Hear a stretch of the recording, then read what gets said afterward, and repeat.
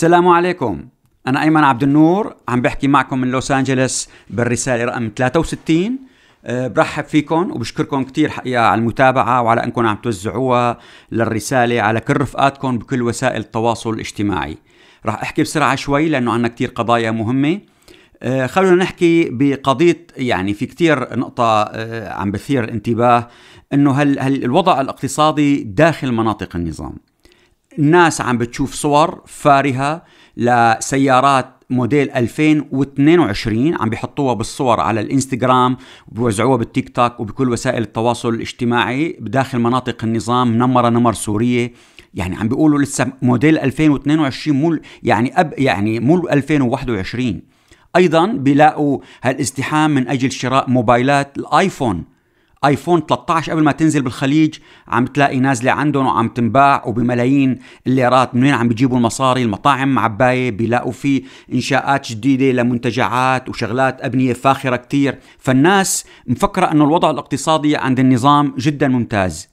الحقيقة هي عكس وخلاف ذلك تماما. ما ننغش. أنا اتصل معي صديق قال لي يعني شوف على هالرسالة اللي باعتها وزارة الخارجية لإلنا. للأمم المتحدة بمكتبة وعن طريق المدير مكتب الأمم المتحدة السفير في دمشق. حقيقة يعني بتقرأ الترجمة تبعها كيف كاتبينها بالعربي شيء مضحك ما بعرف كيف لكن أنا بعرف يعني قريتها بالإنجليزي الترجمة تبع الرسالة.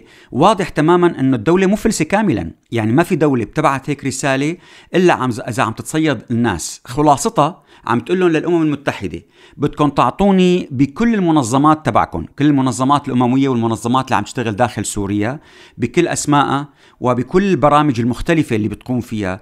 كل شيء عاملته عقود آخر عشر سنين يعني من تاريخ الثورة من 2011 لحديت اليوم بدها أسم كل واحد قبض مصاري من أي منظمة تحت أي برنامج.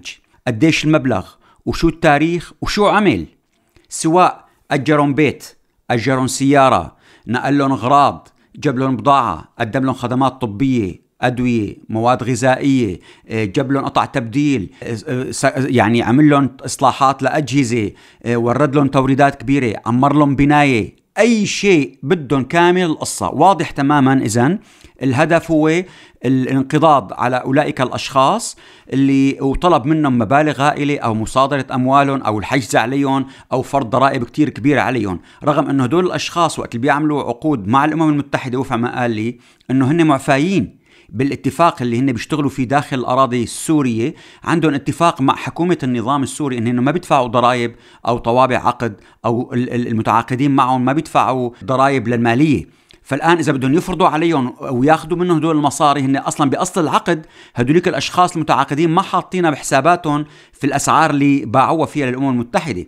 اذا القصة كتير كبيرة واضح تماما في إفلاس عم بدوروا على أي مصدر رزق بس لحتى ياخذوا مصاري. اذا هذا ما حاله دوله صحية سليمة. هلأ بقول لكم شو التفسير آه، للي اللي إجاني. خلينا ننتقل بس لمرحلة ثانية بتبين إنه هن فعلا ما عندهم عم بيبيعوا حتى المنشآت تبع القطاع العام رايدين يبيعوها. سانا اللي هي وكالة الرسمية تبع الدولة عم بحكي. وسيلة الإعلام الرسمية اللي بتحكي باسم الدولة السورية باسم نظام بشار الأسد عم تضع 38 مؤسسة كاملة بمنشآتها بآلياتها بأرضها بأبنيتها كلها كاملة للبيع. سواء قطاع خاص سوري أو ناس من الدول الصديقة اللي مسميتهم يعني روسيا وإيران. وبالتالي عم بتبيع حتى منشآت القطاع العام. يعني إذا بنعطيكم أمثلة منهم مثلا ما فيني أعددهم كلهم لكن مثل معامل الجرارات معمل برده معمل الزجاج الشركة العامة للورق معمل السيرومات معمل الأدوية تبع الدولة اللي ما عندها غيره تاميكو معامل الزيوت معامل المعكرونة. المؤسسة العامة للإسمنت عندها خمس مشاريع معروضة للبيع. معامل الصناعات النسيجية تسع معامل للنسيج معروضة للبيع بكل المحافظات السورية حتى في المحافظات اللي ما فيها شيء يعني مثل طرطوس مثل حمص مثل لاذقية هي شو, دخ... شو ما صار فيها خراب لنقول خربت أو انضربت. ما في شيء معامل السكر. هدول إذا عم ببيعوا كل شيء فقط ليقدروا يأمنوا مصاري يقدروا يستمروا فقط للبقاء. يعني هذا واضح اذا العمل. واللي فهمنا إنه عدد من رجال الأعمال الإيرانيين إجا وعم بيدرس تلك المعامل وجزء كبير منهم نازل بأوتيل شيراتون. وصار عياط بينهم وبين عديد من السوريين اللي نازلين أو كانوا في زيارة في المطاعم عم بيأكلوا في مطاعم شيراتون على تكبرهم على السوريين والنظر إليهم بنظرة استعلاء وازدراء وإنه أنتم خدم عنا. هذا موقف آه، غير مقبول غير مقبول نهائيا هذا. فاذا إضافة لذلك قامت آه، مجلس الوزراء تبع النظام برفع أسعار الأسمدة بشكل كبير. كل أنواع الأسمدة اللي بدك تسمد فيها كل المنتجات والأراضي الزراعية. وبالتالي هذا على شو بده ينعكس؟ مباشرة على كل أنواع الخضار والفواكه اللي بدها تطلع في كل المزارع والبيوت البلاستيكية. فالآن التوقعات أنه في الشتاء بدها تكون الأسعار مضاعفة في ناس عم تحكي إنه سعر كيلو البطاطا بده يقفز لمبلغ كبير. الآن وصل لل 2500 رغم إنه ممنوع تصديره. البندورة بدها توصل ل 5000 ليرة سوري الكيلو. أصحاب البيوت البلاستيكية في جزء منهم بسبب ارتفاع التكاليف. عم بيقول لك أنا بطلت حط بطلت أزرع بالبيت البلاستيكي وبالتالي رح ترتفع التكاليف وتخف المواد وجودها فانه هن كانوا مراهنين عم بيبيعوا ويصدروا كل يوم 100 شحن ترك معبى خضر وفواكه بالشتاء ما رح يكون عندهم مواد يصدروها والناس ما رح تدفع ثمن الخضار والفواكه للأكل. للأسف الشديد هذا هو الواقع الحالي. أعطاني تبرير حقيقة مهم الشخص اللي في نيويورك في الأمم المتحدة قال لي الواقع اللي الآن عم بتشوفوه أنتم من هالحرص النظام إنه يظهر هذه البهرجة في الإعلام والبزخ وال, معبى مصاري بين إيدين الناس وسيارات أحدث الأنواع. هذا بذكر تماما وقت قبل الضربة الاقتصادية والانهيار الاقتصادي الكبير في أمريكا بال 2007 وبال 2008 كان في كثير من الشركات أو رجال الأعمال المتواضعين حقيقة بيلبسوا لبس كثير متواضع. الشركات ما بتعطي كثير مكافآت للعمال. بعد الأزمة وبعد ما انهيار الأسعار وكذا صارت الرجال الأعمال الكبار يحرصوا يلبسوا الساعات الغالية جدا اللي كل سعر ساعة أكثر من 250 ألف دولار ويركبوا السيارات الغالية جدا جدا الحديثة. أيضا عطوا مكافآت مالية للموظفين وكانوا حريصين إنه يشهروا ذلك بوسائل الإعلام الأمريكية إنه شوفوا قديش عطوا مكافآت. وبعد خلال بين أسبوع وشهر انهارت تلك المؤسسات وأفلست. وهدوليك رجال الأعمال أفلسوا. اذا هذه التبرير تبعها إنه في المرحلة قبل الانهيار الاقتصادي كان اللباس هو بيعبر عن تواضعهم. أما بعد الانهيار الاقتصادي كان هالفخفخة وإظهار هذه المظاهر هو رساله للآخرين وللموظفين وللموالين إنه شوفوا وضعنا الاقتصادي تمام وماشي الحال ولا تخافوا ما في انهيار مالي. بينما الحقيقة هي عكس ذلك تماما. فحتى الآن اللي اللي فهمته في عدد من المراكز في واشنطن عم تشتغل نفس الشغل اللي اشتغلته بشهر آب وإيلول أغسطس وسبتمبر تبع 2015 وقت اللي كان جيش الإسلام على أبواب العاصمة دمشق وكان باقي له يمكن بحدود الأسبوعين لحتى يقدر يدخل ويحتل دمشق وبالتالي الولايات المتحدة اللي شجعت روسيا لتدخل لتحمي النظام من السقوط. وهذا الشيء مثبت بشهادته لمعاون نائب وزير الدفاع أمام الكونغرس ومسجلة بالفيديو. فاذا نفس الآن تلك المراكز عم تدرس إنه الخوف إنه ينهار النظام اقتصاديا من الداخل وبالتالي يصير في آه، انهيار مفاجئ اقتصادي. عم بيبحثوا الآن عن دولة ثالثة تدعم النظام اقتصاديا وتبقيه قائم طبعا ما فيها تكون روسيا لأن روسيا ما عندها الأموال. فالآن هن الآن نفس تلك الأجهزة اللي عم تبحث كانت دعمت النظام من خلال التضخم الروسي عسكريا. الآن عم تبحث عن دولة ثالثة لتدعم النظام وتنقذه في حالة وصل لانهيار اقتصادي كامل قبل أن يوجدوا الفريق اللي بده يتولى إدارة البلد في المراحل ما بعد نظام بشار الأسد. لأنه للأسف الشديد وفق ما فهمنا المعارضة السياسية اللي عم تتصدر المشهد كلهم خلال كل السنوات السابقة من 2012 لحديت اليوم فشلت على الإجابة على الأسئلة اللي طرحها عليها المجتمع الدولي وبقيت تلك الأسئلة بدون جواب للأسف الشديد. أيضا خلينا في موضوع تاني الآن. اليوم حقيقة صار في تسريب لبعض الوثائق من فيسبوك وأحد تلك الوثائق هو ملف ملف كبير يعني بيتضمن أسماء مئات إذا ما قلنا آلاف المنظمات والأشخاص اللي من كل دول العالم واللي بيعتبر الفيسبوك إنه دول إرهابيين أو خطرين ولازم تقليل فرص إظهارهم على الفيسبوك أو الترويج لهم أو إنه الحديث عنهم وعمل دعايات لهم بكل المنصات اللي شاريها الفيسبوك اللي هن حتى إنستغرام والواتساب والفيسبوك. هلا من بين تلك الأسماء اللي نحن بيهمنا اللي هن أسماء نحن بنعرفها اللي هن موجودين في المناطق آه، شمال غرب سوريا اللي مثل أجناد الحسكة، الجبهه الشامية، الجيش السوري الحر، جيش إدلب الحر، جيش الشام، جيش العزة، جيش الأمة، جيش النصر، لواء ثورة ثوار الرقة، كتائب أبو عمارة، لواء الأنصار وهكذا وعدد من الأفراد، حقيقة يعني شيء يعني مثير للانتباه والجدل،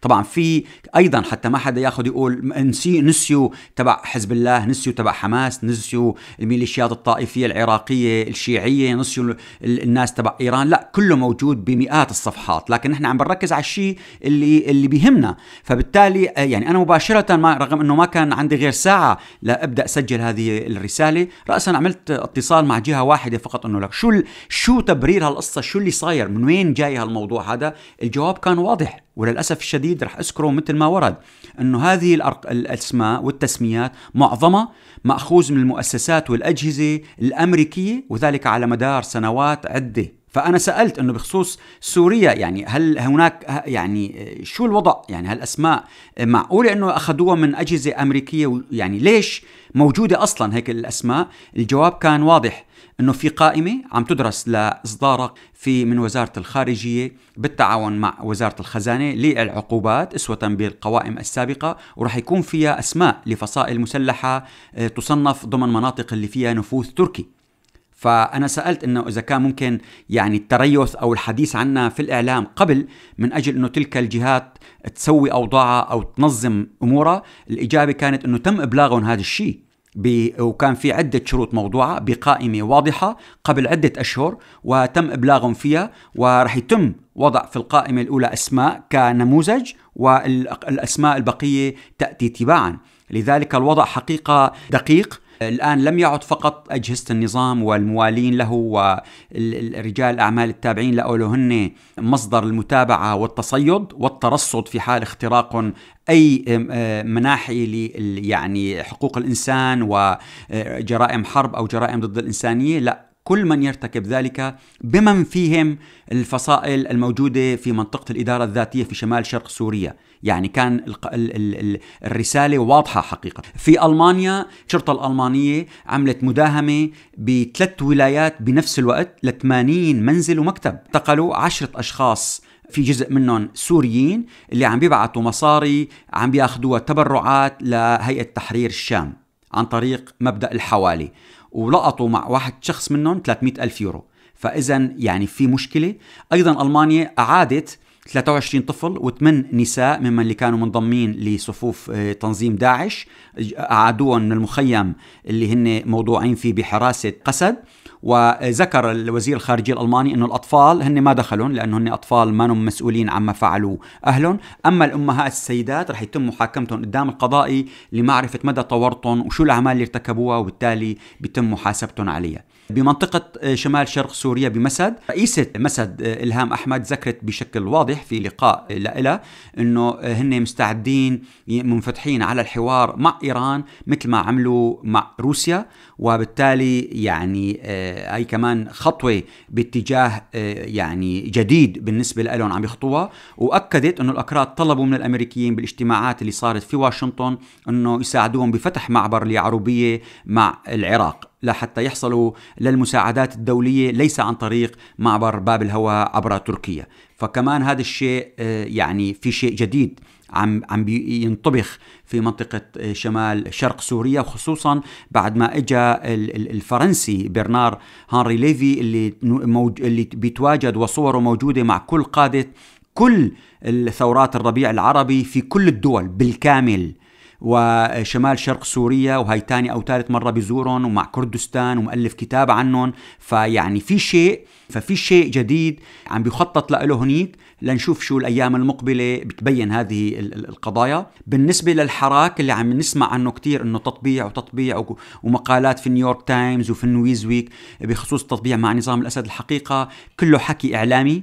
حكي آه، نتائجه على الأرض صغيرة كتير فقط لإبقاء النظام كما ذكرت قبل شوي حتى ما ينهار ما يفرط من الداخل من الداخل اقتصاديا. لذلك في حراك ضده حتى في الولايات المتحدة يعني عضوي مجلس النواب عن الحزب الجمهوري آدم كينزنجر وعن الحزب الديمقراطي براندن بويل اللي هن رئيسين المشاركين لتجمع النواب المؤيدة للشعب السوري الحر اللي بيبلغ عددهم أكثر من 50 عضو في مجلس النواب. حقيقة عملوا بيان واضح تماما ضد التطبيع وضد ما تقوم به الآن الأردن من قضية آه، آه، خط الغاز ونقل الخط الغاز والكهرباء إلى لبنان عبر الأراضي آه، في سوريا. فهذا كمان واضح. في 63 رابطة وهيئة مدنية سورية عملوا بيان واضح بخصوص التطبيع أنه هذا مرفوض تماما مع نظام الأسد.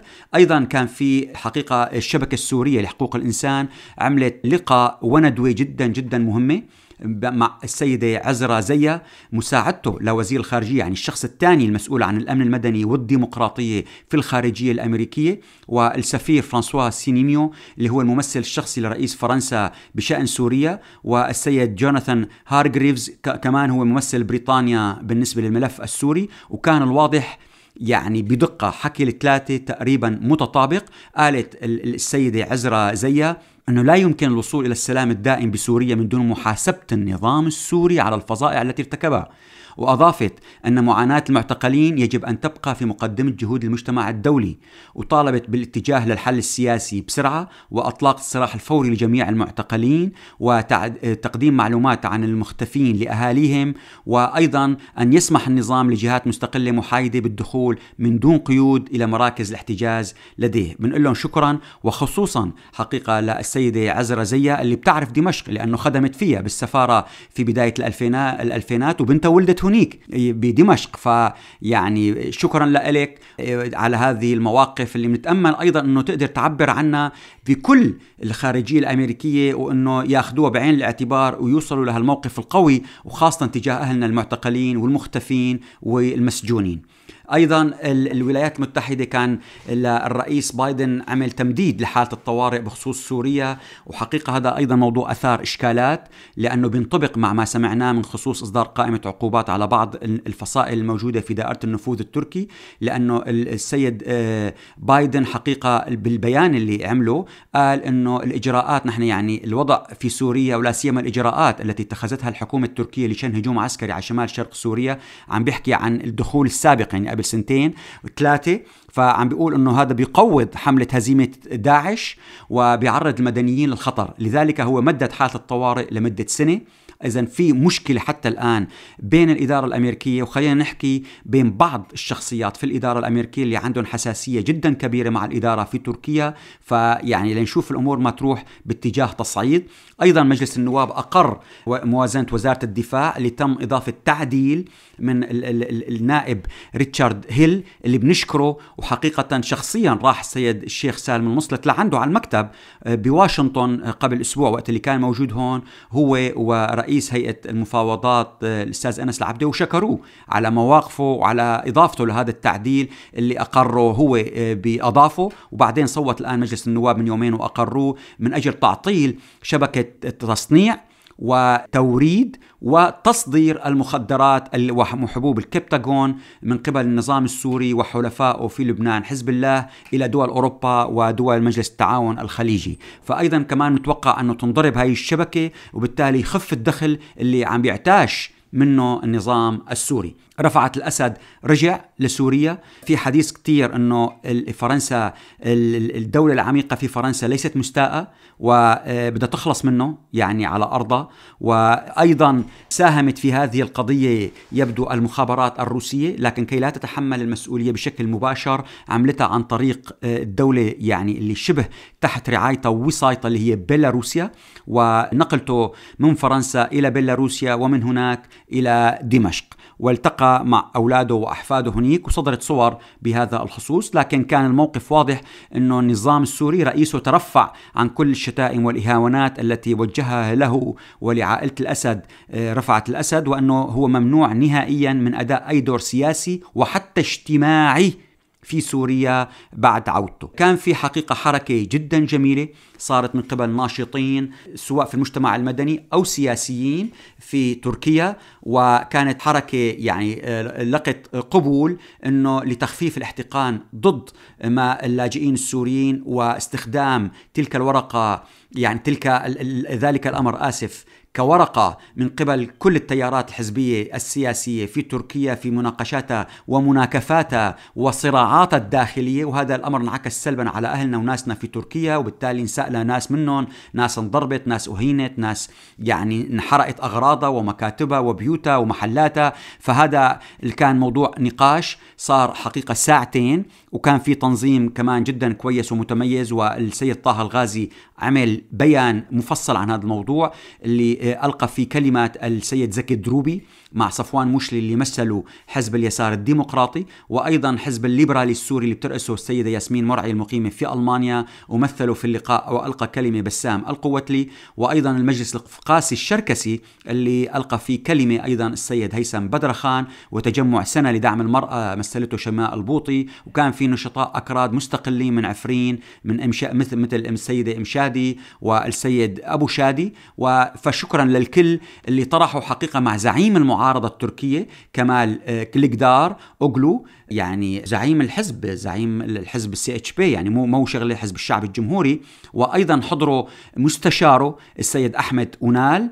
فاللي هو كان سفير سابق لتركيا بالعراق وبأذربيجان وبريطانيا وأيضا النائبه العضوه في مجلس النواب عن إسطنبول اللي هي غمزة أكوش. فاذا وكان النقاش تركز على محورين، الأول إخراج حقيقة قضية اللاجئين السوريين من قضية المشاكل والصعوبات في تركيا، وأكد رئيس الحزب إنه مشكلتهم ما مع اللاجئين السوريين، بل مع السياسات الخاطئة التي أوصلت السوريين إلى هذه الحالة، وقال السيد آه، كمال كيلكدار أوغلو إنه نحن والسوريين تجمعنا روابط جمة من صلات قرابة وروابط تاريخية، وأنه سوريا دولة جار لنا، ونحن قلنا أنه بدنا نساهم بعودة السوريين إلى بلادهم خلال عامين لكن هذا الأمر لابد وأن يكون بعد تهيئة البيئة المناسبة لتلك العودة وعلينا أن نضمن للعائدين سلامتهم وأرواحهم وأن نوفر لهم الأمن والأوان الأمان. يعني كلام حقيقة جيد ويسمع.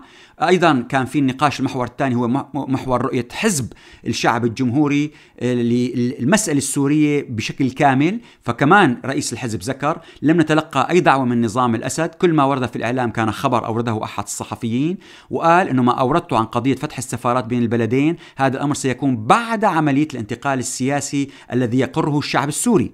بعدين قال يتساءل بعض منكم كيف نستطيع تحقيق ضمانات للسوريين الراغبين بالعودة إلى وطنهم؟ شخصيا بقول أنه الحل ممكن يكون بالنموذج القبرصي بحيث يكون إرسال قوات أممية كقوات حفظ السلام تراقب وتسعى لتحقيق لتحقيق تلك الضمانات شريطة أن تكون تواجد تلك القوات محدد بفترة زمنية وقال لن يكون لنا أي تنسيق أو أي تواصل مع نظام الأسد إلا على أساس مواثيق وقوانين حقوق الإنسان ولا بد للمجتمع الدولي وهيئة الأمم المتحدة أن تأخذ دورها في حل المسألة السورية. إذا الوضع فمشكورين حقيقة كل القائمين ونتمنى أن تتشكل لجنة للمتابعة وأن يكون هذا يصبح دوري وأن يتم وضعنا ووضع كل السوريين بصورة ما يجري وتوسيع دائرة المشاركة من قبل السوريين لتتضمن فعاليات وأحزاب سياسية موجودة في تركيا وبتمثل هؤلاء السوريين المقيمين في تركيا في كل البلدات والولايات والمحافظات المختلفة. حقيقة منظمة سوريون مسيحيون من أجل السلام كان كمان عملت إجراء ثاني بعد ما كان عمل يعني المؤتمر المسيحي العربي إجراء بخصوص ما ذكره البطريرك الراعي لإعادة اللاجئين السوريين قسرا إلى سوريا فوجهت كتاب حقيقة لوزير خارجية الفاتيكان المونسينيور بول غالاغر وأوصلوا حقيقة الدكتور وائل العجي اللي هو أيضا عضو مجلس إدارة المنظمة في بريطانيا. أيضا كان في أقنية الإسرائيلية وسائل الإعلام الإسرائيلية حكت على المكشوف بأنه غاز توليد الطاقة اللي رح ينقل من مصر إلى لبنان بالأنابيب عبر الأردن وسوريا هو غاز إسرائيلي. وكان بشكل جدا واضح حددوا مكانه وكميته وكيف عم بيبعتوه وكيف عم بيبعتوه الآن للأردن من أجل أيضا توليد الكهرباء في الأردن. فأي كهرباء سوف تباع من الأردن هي أصلا مولدة بالغاز الإسرائيلي. أيضا من أجل انه أظهار مدى هشاشة النظام السوري نشرت عديد من وسائل الإعلام الدولية. كيف تم اختطاف جنرال انحرس الثوري الإيراني من دمشق من المزة؟ بيته قريب من السفارة الإيرانية بينزل كل يوم المساء بيعمل رياضة المشي والركض. بالمسافة بين بيته وبين السفارة تعرض للاختطاف بفان صغيرة وتم نقله لإسرائيل والتحقيق معه بشكل كامل من أجل أخذ معلومات لأنه كانوا ظانين أنه عنده معلومات عن الطيار الإسرائيلي رون أراد. وبالتالي حتى بداخل دمشق الأمور مكشوفة ومتاحة والأمن فلتان، هذا بالاسم وبالصورة وبالوثائق بزاعوها عدة وسائل إعلام دولية، هذا يعني كمان ببين لك شو الواقع، مين الناجحين؟ الصحف البريطانية صحيفة الإندبندنت ذكرت إنه في قصة غريبة لأول مرة ببريطانيا إنه أم وابنها عم بيدرسوا بنفس الجامعة وبنفس الصف وهن السورية منال رواح وابنها بلال بطوس اللي جايين هربانين من سوريا. عام 2015 عم بيدرسوا العلوم الطبية الحيوية بجامعة نوتنغهام ترينت أيضا بنقول مبروك للسوريين اللي نجحوا بالانتخابات البرلمانية بألمانيا قبل بأسبوعين. السيدة الملياء قدور من إدلب نجحت عن حزب الخضر والسيدة رشا نصر من السويدة اللي حز... رشحت عن آه، نجحت عن الحزب الاشتراكي. طبعا عم نحكي نحن عن البرلمان الفيدرالي الأم. هدول أول تنتين من أصل سوري بيدخلوا لي في منهم نجحوا عن البرلمانات المحلية اللي هي برلمانات الولايات مثل الأستاذ جيان عمر من الآمشلي اللي نجح عن حزب الخضر عن برلمان ولاية برلين والسيدة ياسمين حريتاني عن ب... عن برلمان ولاية بريمن والسيد جمال قارصلي أول واحد من زمان من عن برلمان ولاية شمال الراين فشكرا لكم جميعا.